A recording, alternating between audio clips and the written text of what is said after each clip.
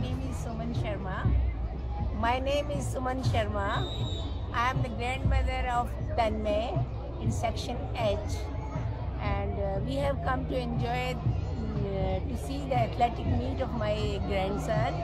And uh, the atmosphere is very, very, very colorful, and um, the most uh, beautiful thing is that the parents are, all the parents are involved in the uh, events and the children are very colorful in different colors in sweaters and different uh, events even you can say and everybody is participating. The most uh, important thing is all the children are participating in